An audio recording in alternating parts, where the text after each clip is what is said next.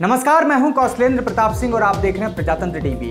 बिहार में विधानसभा चुनाव की सुखबाहट के साथ राजनीतिक पार्टियाँ अपनी अपनी रणनीति बनाने में लगी हुई हैं। इसी कड़ी में आज लोक जनशक्ति पार्टी की बैठक हुई। इस दौरान प्रदेश संसदीय बोर्ड के अध्यक्ष राजू तिवारी ने चौरानवे विधानसभा की बूथ लिस्ट जमा की। इस दौरान उन्होंने कहा कि पार्टी पूरी तरीके से चौरानवे सीटों पर चुनाव लड़ने के लिए तैयार है। बैठक में राजू तिवारी ने कहा कि जल्द ही बाकी एक सौ उनचास सीटों की बूथ लिस्ट जमा कर दी जाएगी। साथ ही उन्होंने कहा कि प्रत्येक बूथ एजेंट बैठक करके पार्टी के विचारों की जानकारी देंगे।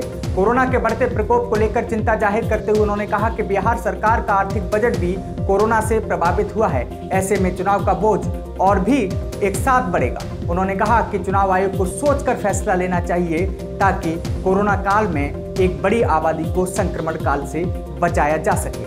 और बिहार विधानसभा चुनाव में लोक जनशक्ति पार्टी चौरानवे सीट के बाद एक सौ उनचास सीटों पर क्या रणनीति बनाएगी? देखिए हमारी खास रिपोर्ट।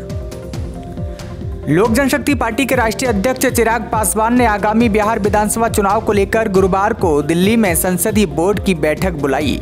प्रदेश संसदीय बोर्ड के अध्यक्ष सह विधायक राजू तिवारी ने दिल्ली पहुंचकर पार्टी सुप्रीमो से मुलाकात की। बोर्ड बैठक में दो फॉर्मूले पर मंथन होने की संभावना है। सूत्रों से मिली जानकारी के अनुसार, पदाधिकारियों से पार्टी अगर 119 सीटों पर चुनाव लड़ती है तो क्या तैयारी है? यह जानकारी मांगेगी।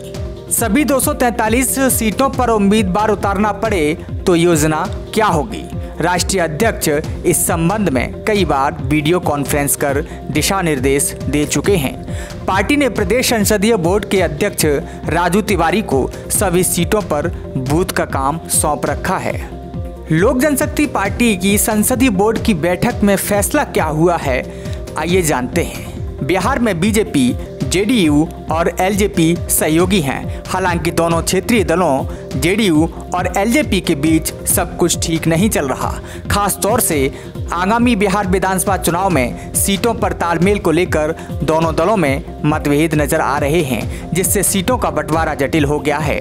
दूसरी ओर भारतीय जनता पार्टी दोनों पार्टियों के बीच संबंधों को सहज बनाने की कोशिश में जुटी हुई है। इस बीच एलजेपी अध्यक्ष चिराग पासवान की अगुवाई में उनके दिल्ली स्थित आवास पर एलजेपी संसदीय बोर्ड की बैठक हुई। वहीं आपको बता दें, चौरानवे सीटों पर चुनाव लड़ने की तैयारी कर रही है एलजेपी।